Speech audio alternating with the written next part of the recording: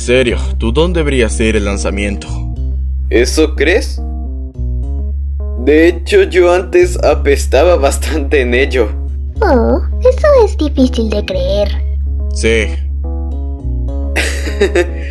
bueno, he tenido bastante práctica. Supongo que es por eso. ¿Eh? ¿Ese eres tú, Isuzu? Al menos te lo ganaste. Seguro que estás llena de sorpresas, Usagi.